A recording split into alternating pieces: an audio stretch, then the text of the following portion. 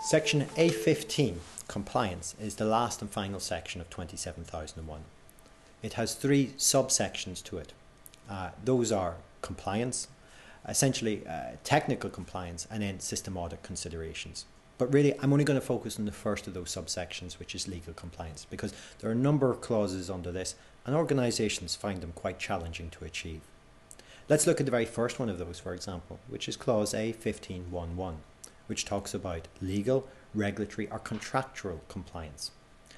That may seem very straightforward, and certainly it's very logical to say an organisation shall essentially operate legally. It shall comply with national law and it will comply with relevant regulations. And most organisations should say, of course, that's what we do.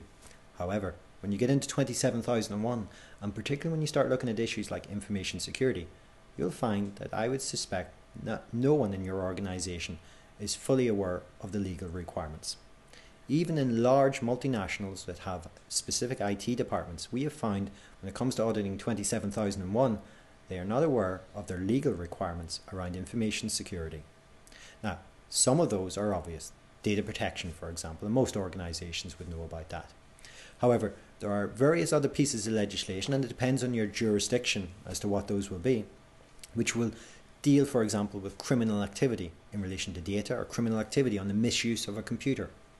Uh, there's various legislation, for example, even at a national level or a federal level in the US, which will deal with exporting equipment, for example, and particularly encryption. Now, these are sort of one off pieces of legislation, but potentially they could apply to you. And as an organization, not only do you need to know that, but you also need to know what you need to do to ensure that you continue to comply with those. Now, the challenge is finding those in the first instance, because when you go for 27001, you're going to have to document all of your legal and regulatory requirements. That's a challenge. Secondly, however, you also have to keep yourself up to date. So even after you're certified, in the years that follow after that, legislation changes, regulations will be amended, and you're going to have to come up with a mechanism to ensure that you stay on top of that. And the reason I want to stress it is I think in most organizations this is a new activity for them. It's not a responsibility somebody has had previously, but it's something they're going to have to do for 27001. Now, in relation to some of the other clauses under this section, we deal with intellectual property rights. And really, here we're talking about software licensing. And this will require the organisation to make sure it holds licenses for all the software applications that it runs.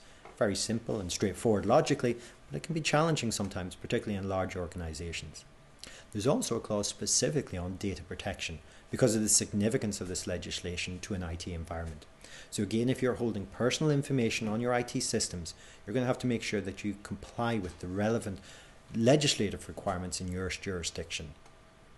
And finally, some of the latter clauses under this section deal with other general issues uh, and related to information security, and particularly uh, some strange clauses to deal with, for example, exporting uh, encryption products.